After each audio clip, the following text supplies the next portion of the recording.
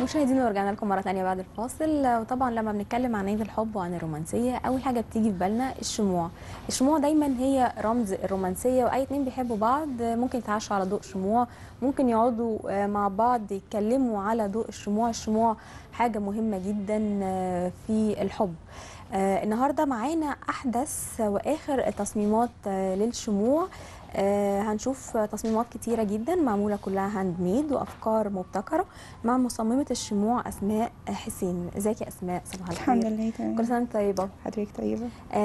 أسماء إحنا شايفين يعني عدد كبير من الشموع تصميمات كتيرة جدا. كلمينا عن شغلك بالشموع. آه انت في البداية انت اللي بتصنعي الشمع من الأول؟ آه. إحنا بنشتغل في البيت.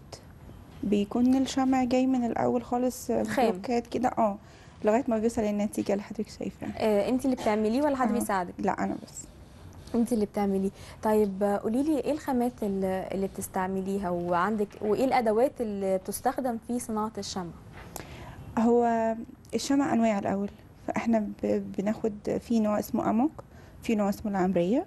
مم. آه، بيبقى درجات زي درجة أولى ودرجه آم، يعني أنا باخد بشتغل بشمع الأموك. بنحتاج اسطمبات بنحتاج اكسسوارز عليه. لغاية ما يطلع بقى بالشكل النهائي ده. طيب وإيه المواد اللي بتستخدميها برضو تانية آه بعد ما الشمعة بتتعمل انت بتعملي كذا شكل يعني آه. من آه، من الشمع وعندك كذا حجم برضو آه، قولي لي الخامات اللي بتستعمليها على ال- الشمع عشان تعملي الديكور بتاع الشمعة في حاجات إحنا شايفين printed وفي حاجات انت شغلاها. شغلاها باكسسوارز وفي حاجات ملونة عليها. قولي لي في في يعني في شغل عليه طباعة في شغل بنحط عليه اكسسوارز وأنا اللي بعمله. آه، ممكن نحط عليه عجينة سيراميك برضو. آه، في glitter حاجات دي برضو بتخلي بتغير شكل الشمع. يعني هي لما بتتعمل كلها بيبقى شكلها واحد.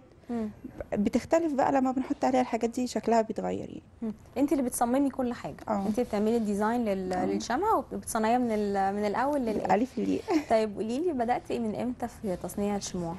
هو مش من كتير يعني ممكن ست شهور. بجد؟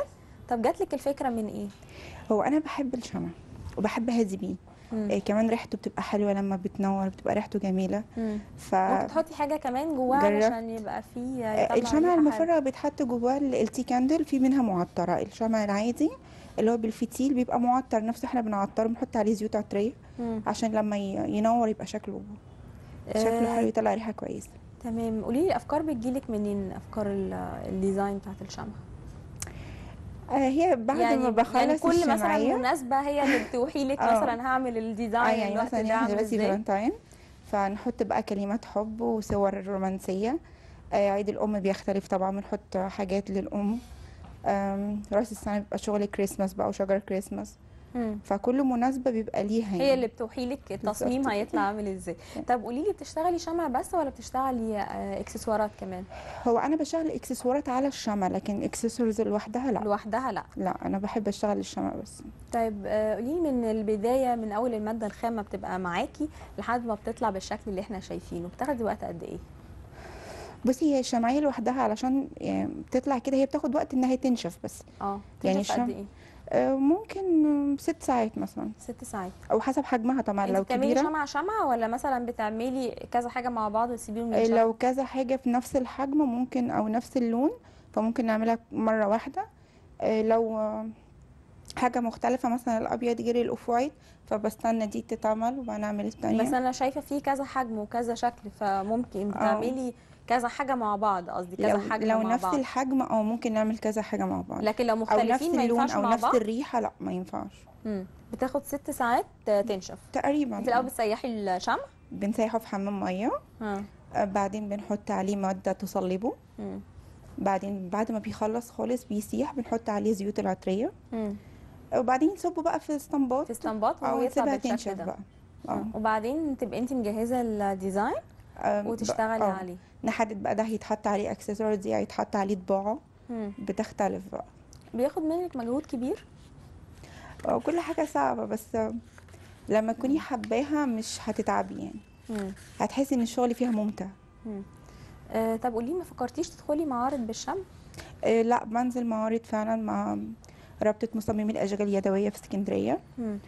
آم، بس آه، معارضهم كلها بصراحة بيتعبوا عشان يعني. طيب قولي لي الفترة اللي جاية بتفكري تطوري في في إيه في الشمع يعني نفسك تعملي إيه جديد؟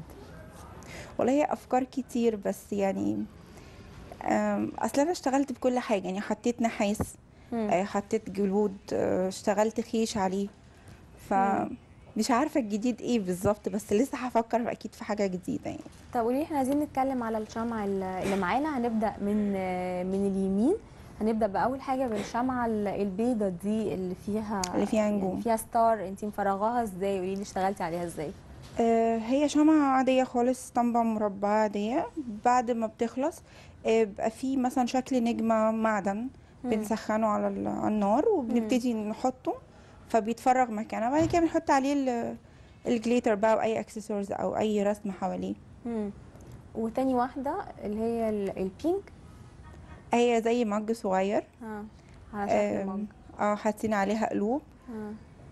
آه. يعني حاجة عشان من الفالنتاين.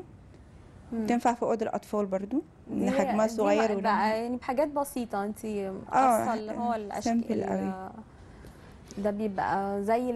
زي الفوم كده فوم آه عليه آه glitter عليه glitter انت بنقصه. ملزق- آه قصاه بشكل معين وعاملاه طيب ودي ده box صغير كده مربع برضو عليها love آه، حبيت أدخل السنة دي ال- الفوم مع ال glitter ده بيدي مم. أصلا شكل حلو تحسي الحاجة آه، فيها فرحة كده آه. ليه فيها فرحة وده كاتبة دي زيها برضو كاتبة عليها. بحبك أيوه بحبك مم.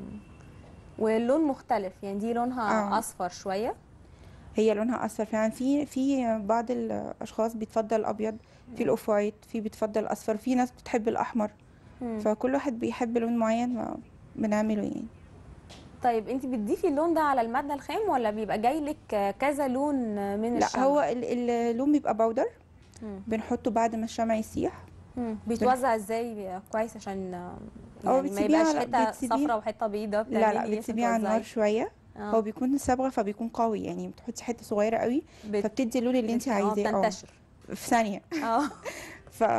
فبنحطه على النار بعد ما الشمع يسيح دقيقتين كده فبيسيح كله بيدي بقى الدرجات دي. آه. شايفين الشمعة اللي بعدها انت برضو مبتكرة فيها شوية يعني دي عليها آه الكف. خمسة وخميسة. آه. الكف وفيها خرزة زرقاء. كلنا بنحبها. أكيد. ما فيش حد ما بيحبش الكف يكون موجود عنده على أي حاجة يعني. مم. فيعني برضو فيها ابتكار يعني مش مختلفة عن باقي ال- الشمع اللي موجود ودي دي printed دي جديدة بقى. آه. آه دي الفالنتاين ورد. ورد و Happy Valentine وحاجات آه، حمراء. فأنا حبيت أدخل الورد آه، على الشمعة السنة دي. مم. آه، مع برضو الدلاية دي شكلها بيبقى حلو. مم. منها الشمعة ومنها بوكيه الورد اللي إحنا يعني م- عايزين آه نجيب يعني. واحدة نوفر. بالظبط كده.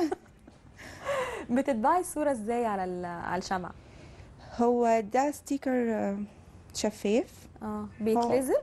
آه بتطبعي عليه طباعة وبعد كده بتحطي عليه نوع معين من ال sticker يعني. آه مخصص للشمع. بالظبط كده.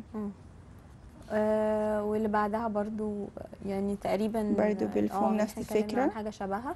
ودي برضو برنتد آه قولي لي في واحدة ورا مكتوب عليها يعني حاجات كتير ده. مكتوب عليها شعر. بحبك بكل آه لحظة. بحبك بكل لحظة. حياتي؟ حياتي. مظبوط. آه. كلام حلو. يعني برضو الشمعة يعني كهدية آه، هتعبر عن مشاعر ممكن بالظبط. آه، مش قادرين كلام انت مش نقولها قادرة تقوليه فممكن أكيد. تبقى تكتبيه على شمعة. منها مم. هدية تبقى حلوة وجديدة. منها قلتي اللي انت عايزة تقوليه. كمان بتبقى ذكرى جميلة. أكيد. آه، قولي لي بتلاقي إقبال من الناس إن هي تشتري شمع مش قوي. يعني إحنا لسه في مصر برضو عندنا ال مش فاهمينه قوي. آه في ناس كتير آه، بتفكر تجيب آه، دباديب ورد بالظبط.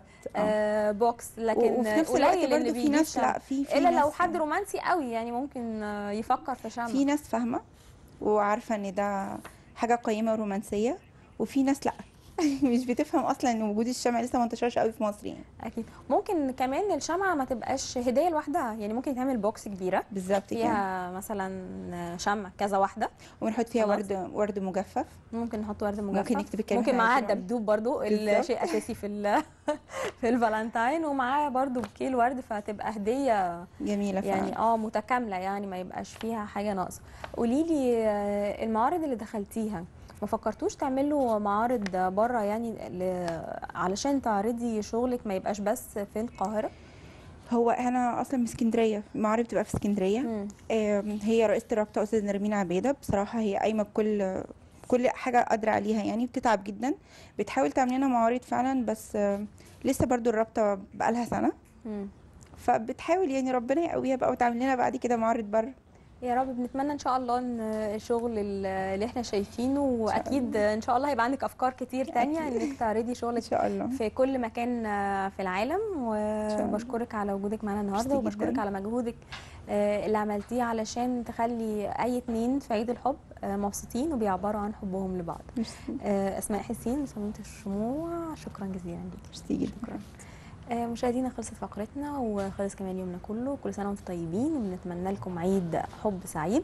آه، وزي ما إحنا قلنا آه، نبعد عن العند شوية ونفكر إزاي نبسط ونسعد بعض آه، في عيد الحب. ومرة تانية آه، بنعزي آه، أسر الشهداء. آه، وإحنا فعلا فعلا آه، مش ناسيينهم. بس حبينا إن إحنا آه، اليوم النهارده يكون مختلف ونخرج كلنا من حالة الحزن اللي إحنا فيها. كل سنة وإنتم طيبين. بكره إن شاء الله يوم جديد وفريق عمل جديد. ونهاركم دايما سعيد.